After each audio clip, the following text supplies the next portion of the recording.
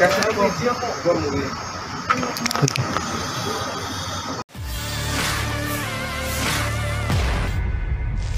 sebuah ledakan cukup keras di dalam markas Detasemen Gegana, Satuan Brimob, yang berlokasi di kawasan Jalan Gresik, Morokrembangan, Krembangan, Surabaya, Jawa Timur, Senin, 4 Maret 2024, pagi. Meski demikian Kapolda memastikan tidak ada korban jiwa dalam insiden ledakan itu. Mantan Kapolres Gresik itu menjelaskan ledakan yang terjadi sekitar pukul 10.19 WIB itu mengakibatkan sebuah ruang kantor dan sebuah mobil operasional Sabrimob rusak. Mengenai sumber ledakan, Kapolda mengungkapkan ledakan tersebut berasal dari sisa bahan peledak mortir yang disimpan dalam gudang di area markas tersebut. Ledakan tersebut berasal dari sisa mortir yang dievakuasi dari permukiman warga beberapa waktu lalu. Rencananya, lanjut Imam, mortir tersebut akan dilakukan pemusnahan, disposal, pada waktu dekat atau beberapa pekan nanti.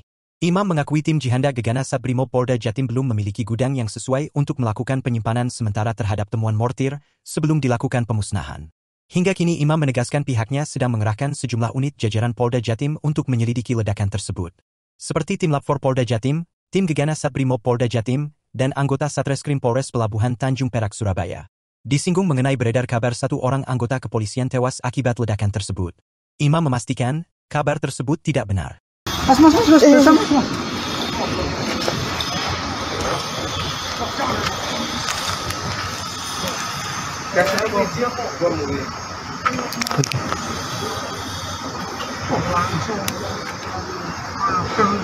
Nó vẫn xóa ngay Chúng ta chưa hề tính đến rồi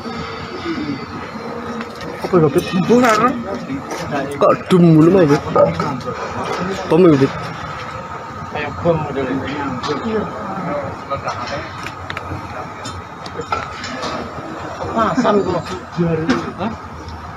tengok cek apa mah? Gak lagi kayak eh itu petasan bu Poso ini Pasangan baru. anu iku antek-antek Nurdin Download Tribun X sekarang. Menghadirkan lokal menjadi Indonesia.